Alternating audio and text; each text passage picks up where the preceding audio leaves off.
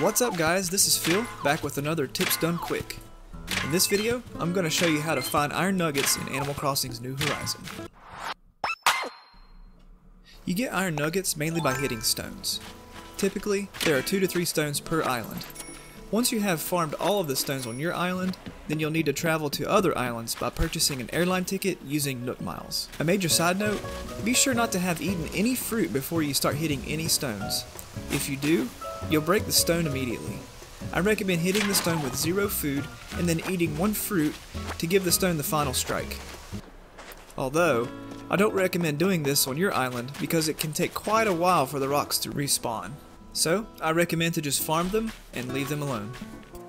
Oh, and don't forget, talk to your friends after you have agreed to help build Timmy's shop.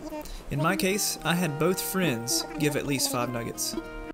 Also, another great tip that I learned the hard way is the better your tools are, the more iron nuggets you're going to get out of the stone. So, upgrade your tools. I recommend at least the advanced level tools. And most importantly, keep churning away. I had to go to multiple islands to get all the iron nuggets that I needed. It can get expensive and take a little extra time, but you'll get it done. If you want access to more quick tips, then be sure to subscribe.